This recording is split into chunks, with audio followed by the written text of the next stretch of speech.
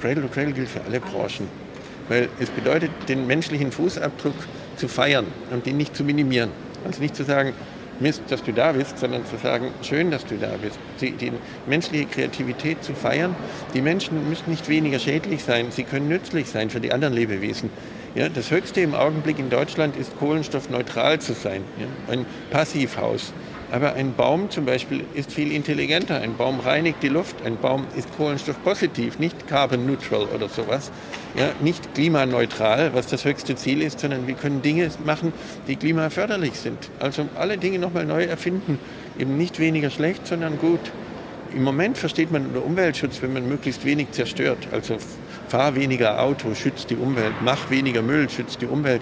Damit schützt man aber gar nicht, sondern man macht nur weniger kaputt. Wir können uns Autos vorstellen, zum Beispiel, die die Luft reinigen. Also zum Beispiel Feinstäube binden. Warum soll ich meine Lunge einsetzen, wenn der Unterboden an meinem Auto die Feinstäube aufnehmen kann? Inzwischen stellen sich ganze Industrien um. Zum Beispiel der weltgrößte Hersteller für Büromöbel in Deutschland ist, gehört der Werndl zum Beispiel dazu hat dieses Jahr den 100. Geburtstag, hat vor 18 Jahren angefangen. Alle Produkte sind inzwischen Cradle to Cradle. Jeder Bürostuhl, jedes Regal, jeder, jeder Schreibtisch davon von denen hergestellt ist so bereits gemacht.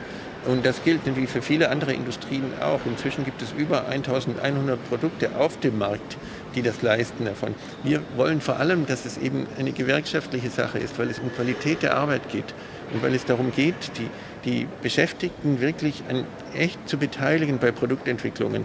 Und das ist etwas, was mir wirklich sehr wichtig ist, weil, weil die Frage ist doch, ähm, für weniger schädlich sind wir viel zu viele Menschen auf der Erde. Wenn wir aber nützlich sind, dann muss ich nicht ein Kind anschauen und sagen, verdammt Überbevölkerung, sondern sagen, schön, dass du da bist, was für eine Chance für den Planeten.